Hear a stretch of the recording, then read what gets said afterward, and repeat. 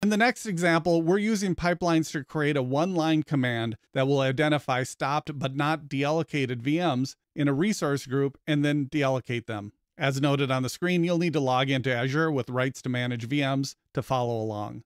When we shut down a VM in Azure, it shuts down the VM and then deallocates that virtual machine. By deallocating the virtual machine, we stop paying for it. However, if the VM is shut down from inside the operating system, the OS is shut down, but the VM is not deallocated. And that costs us money. We only stop paying for a VM when it's deallocated. Now that the pipeline is filtered to just the VMs with the power state of VM stopped, only one for this example, let's pipe that into the stop VM command to deallocate the VM. This example also uses the force switch, so it doesn't prompt for a confirmation.